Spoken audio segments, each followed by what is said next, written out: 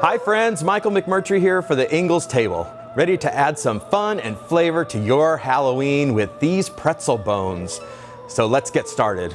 First thing you want to do is get some pretzel rods, like we've got here, and I've got some melted white chocolate or almond bark. Now I've double boiled it. You can also microwave it. Just follow the directions on the packaging. And what you want to do, the first thing, is dip each end into your white chocolate.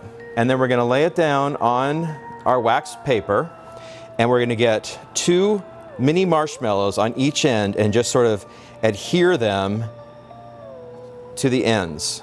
You really want them to stick on there well. Do all of the pretzel bones that you're gonna do, and then once you're done with this step, you're gonna place these into the refrigerator until the white chocolate is solid and the marshmallows are firmly attached to your pretzel rod. And I have some of those done, so I'm gonna show you what that looks like.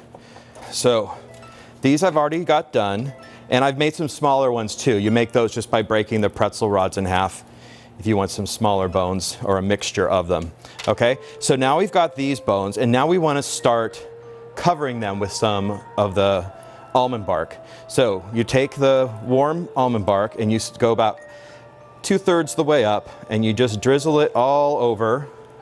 Just really pour it on there. You want it completely covered. I found that one of the things that um, will happen is if you don't have a marshmallow covered well, it'll stick to your pan. So just make sure you get it all covered and then go like this and you want to shake off the excess and then you lay it down on your wax paper.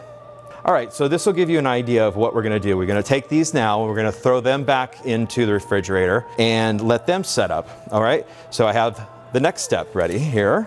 So now you've got this side done and you wanna do the other side. So these are all firm and you wanna take your white chocolate and go and do this side.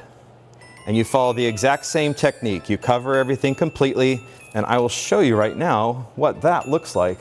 If you look right over here, you've got your bones, and I've got like a little bowl of bones right here, and they're a great treat, and people love them, and they laugh and smile. I want to thank you so much for joining me here at the Ingles Table. Remember, you can find so much more great stuff right here on the site, from recipes to helpful tips and great party ideas. Happy Halloween!